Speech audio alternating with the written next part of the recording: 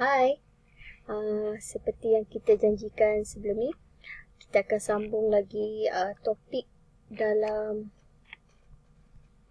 masih dalam bab 3 ya, kod arahan, okey, persekitaran, kod arahan 3.1.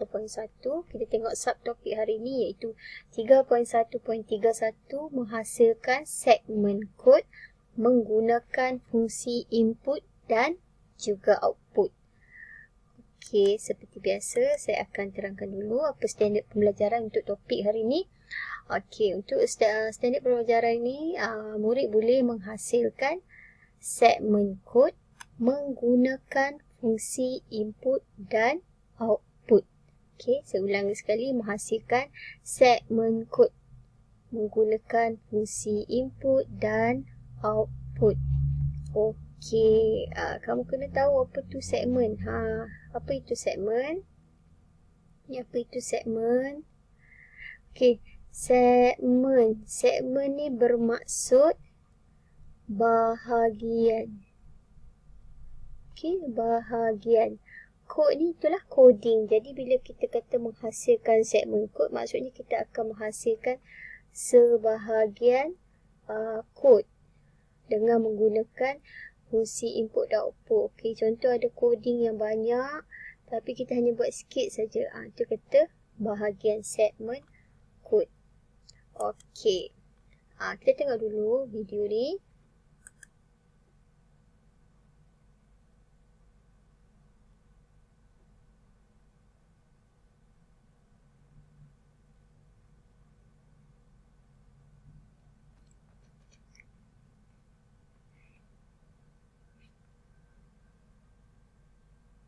Okey. Okey, apa yang kamu nampak dalam video tersebut?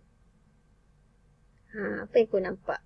Okey, sebenarnya video ni memaparkan uh, tentang uh, seorang pengguna komputer atau laptop. Dia memasukkan maklumat apa yang dia nak dalam komputer tu. Okey, contohnya dia nak buka video tentang sesuatu ni kan. Okey, dia nak buka video ni. Jadi dia search dekat Google, uh, YouTube, lepas tu daripada YouTube dia dapat apa yang dia nak. Okey, itu yang cuba disampaikan dalam video ni. Ini bermaksud uh, berlakunya interaksi antara kita sebagai manusia, uh, ni orang ni, uh, interaksi antara kita manusia dengan komputer. Tapi pernah tak kamu terfikir macam mana manusia berinteraksi dengan komputer sedangkan uh, komputer tu bukan manusia kan. Uh, jadi di sini kita akan belajar apa? Uh, kita akan belajar macam mana yang dikatakan interaksi manusia dan juga komputer. Jadi di sebalik uh, interaksi kita dengan manusia uh, dengan komputer ni adanya bahasa pengatucaraan. Uh, bahasa pengatucaraan, pengatucaraan tu yang akan menterjemahkan apa kehendak manusia. Okey, jadi uh, kita akan tengok kita akan menggunakan fungsi input dan juga fungsi output. Okey, fungsi input Allah dan fungsi output. Okey, kenapa kita menggunakan kedua-dua fungsi ini? Sebab kita nak membolehkan mesej yang hendak disampai dan diterima dapat difahami oleh pengguna dan komputer sebab tu kita menggunakan fungsi input dan juga fungsi output. Okey, tadi saya ada sebut pasal interaksi manusia, interaksi manusia dan juga komputer. Okey, apa yang dimaksudkan dengan interaksi manusia dan komputer ni? Dia melibatkan cara manusia berkomunikasi dengan komputer dengan ciri-ciri perantaraan dalam aspek yang lebih luas seperti okey seperti faktor komputer. Faktor komputer itulah terdiri daripada uh, sistem pengoperasian dia OS dia grafik komputer dan juga persekitaran pembangunan Okey, itu dari segi faktor komputer. Contoh, contoh situasi lagi lah yang saya boleh. Uh, situasi tadi tengok uh, orang tu dia nak cari video dalam YouTube. Jadi, uh, bila dikatakan faktor komputer ni contohlah OS yang digunakan untuk komputer dia. Kemudian grafik komputer, nampak tak? Macam mana grafik ataupun betapa macam mana mudah untuk dia search. Ada ruangan untuk dia search, dia type. Okay, itu contohnya lah. Uh, kemudian adalah faktor manusia. Faktor manusia dari segi komunikasi, uh, sains sosial dan juga bahasa. Okey, ada dua faktor yang uh, kata uh, yang menyebabkan yang menjadi ciri-ciri perantaraan antara interaksi manusia dan juga komputer. Perantaraan tu merujuk kepada medium seperti antara muka suatu atau cara. Kemudian cara data dimasukkan dan reka bentuk grafik yang mesra pengguna. Ah, yang ni masih saya cakap tadi. Uh, antara muka tu ialah interface. Okey, sesuatu atau cara tu adakah user friendly ke tak ha, lepas tu cara data dimasukkan Okey, macam mana bila kita nak search sesuatu tu uh, ataupun cara bagaimanalah data tu dimasukkan dan kemudian reka bentuk grafik kalau uh, mungkin colourful ke ataupun cara reka letak dia dekat mana button out dekat mana button uh, apa ni login semua kan ha, tu semua mempengaruhi reka bentuk grafik yang mesra pengguna okey Kemudian, okay, kita tengok ni. Ini adalah contoh uh, gambar gambaran macam mana interaksi manusia dengan komputer. Okey, manusia. Uh, dia berfikir apa benda yang dia nak, dia cari tentang saya cakap tadi macam mungkin budak tadi.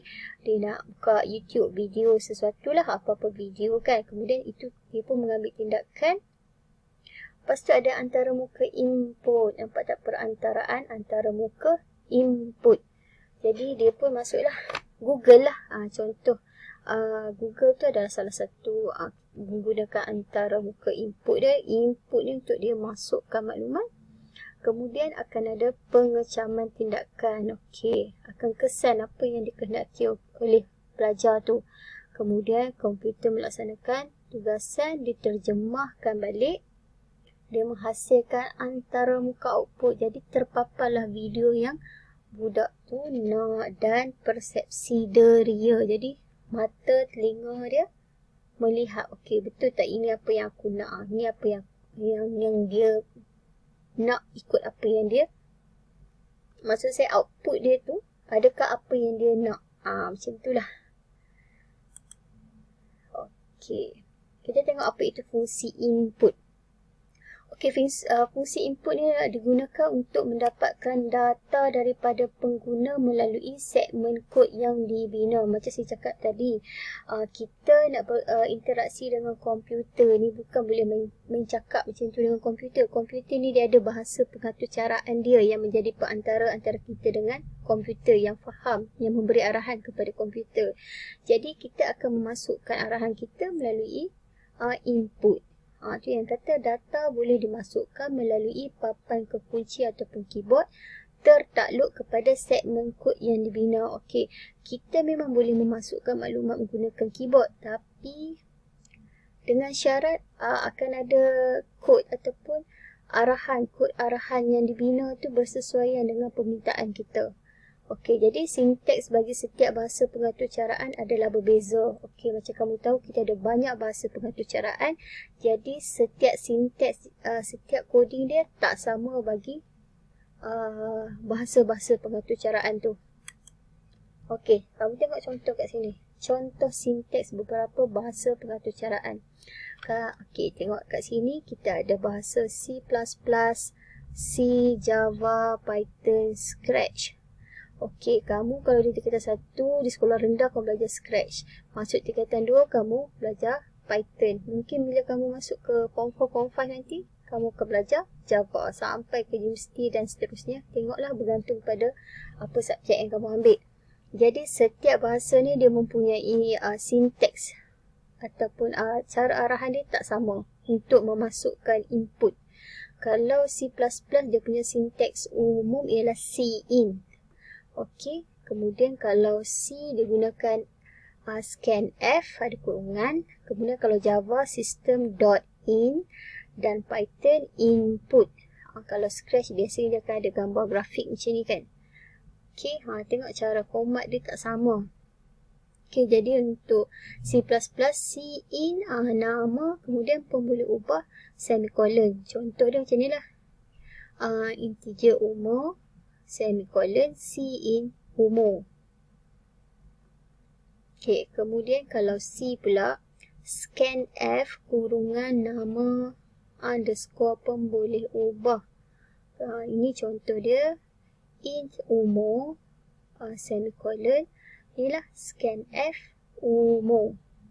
Okey, bagi Java pula, scanner nama pun boleh ubah sama dengan objek kurungan system.in. Ataupun di sini, scanner umum. Umum ni adalah nama boleh ubah sama dengan new scanner system.in. Ha, dan sekarang ni kamu tingkatan dua, kamu akan tengok inilah input nama pun boleh ubah jadi umur ni ha, pun boleh ubah umur sama dengan input umur. Okey, kenapa ada ha, macam sesungut ni? Sebab dia adalah jenis ha, data string. Okey. Okey, ini kamu akan tengok lagi nanti eh. Okey. Ha, ini kamu tengok contoh. Ha, contoh kita gunakan Python lah. Kamu belajar Python kan. Apabila sinteks input kurungan dibaca atau cara akan menunggu input daripada pengguna. Okey, maksudnya ha, macam inilah umur sama dengan input kurungan masukkan umur anda. Ha, bila kita tulis dia masukkan umur anda, maksudnya fungsi input diaktifkan. Ha, maksudnya sistem ni dia memerlukan pengguna yang masukkan umur bukan dia sendiri bagi. Ha, itu yang dikatakan fungsi input diaktifkan. Jadi di, bila dia keluar macam ni masukkan umur anda kamu type uh, 14 kemudian dia akan paparkan umur sama dengan 14. Okey, ini contoh sinteks bagi Python. Seterusnya kita tengok fungsi output. Tadi input in. Sekarang ni out Okey, uh, output pula merujuk kepada maklumat yang dipaparkan. Okey. Maklumat yang dipaparkan pada skrin komputer. Contohnya tadi video yang budak tu search tu, yang keluar tu dari skrin tu yang dikatakan output. Okey, pada skrin yang dihasilkan melalui segmen kod. Atau data yang dimasukkan oleh pengguna. Tadi dia mungkin search video, dia search, search YouTube. Okay, ha, jadi keluarlah dia punya apa yang dicari. Jadi fungsi output akan diaktifkan oleh sinteks sama macam input tadi. Sinteks umum mengikut bahasa pengatur caraan sama juga output sama dengan output. Kemudian monitor adalah peranti output kalau keyboard ni peranti input. Okey, dia akan memaparkan maklumat atau mesej yang dihasilkan melalui proses oleh segmen kod dalam komputer. Okay, seterusnya, kita tengok ha, ni sama juga macam uh, tadi, di mana ada beberapa bahasa pengatur caraan. Sama juga sinteks dia. Kalau C++, C out. Kalau nak uh, print, print F uh, system.out kalau Java tadi system.in uh, Python print. Kalau uh, kita nak input tadi kita letak apa kat sini? Input. Uh, jadi nampak tak perbezaan dia sikit. Ok sama juga dia punya ni. Uh, kamu boleh tengok perbezaan bagi setiap bahasa pengatur caraan ok ini contoh coding dia fungsi dalam bahasa pengatur caraan Python bila dia bagi arahan print maksudnya dia suruh cetak ataupun uh, paparkan umur anda pada tahun ini ialah umur ialah umur kat sinilah. Jadi fungsi output diaktifkan. Ha, ini menunjukkan fungsi output diaktifkan. Jadi bila di print ataupun dipaparkan nanti akan keluarlah umur anda pada tahun ini ialah 14. Okey. Ha, Okey, saya rasa setakat itu saja untuk topik hari ini. Sebarang masalah boleh PM tepi. Okay, bye.